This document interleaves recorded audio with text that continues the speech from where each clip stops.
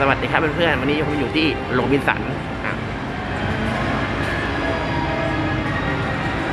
มาดูหนังเรื่องอวตาร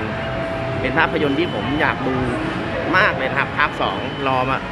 เป็นเวลาเป็นสิบปีกว่าจะออกภาคสองได้นี่ครับอยากดูมากเลย ผมว่าเพื่อนๆหลายคนก็อยากดูเรื่องนี้นะก็เป็นวันหยุดเนี่ยผมก็อยากมา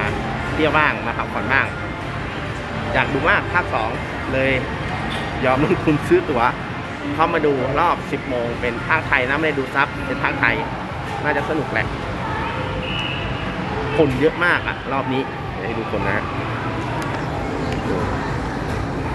เอออวตารภาคสองหนังเข้าใหม่เยอะนะ ผมก็มาอยู่ที่โรบินสันโรบินสันลาดกระบัง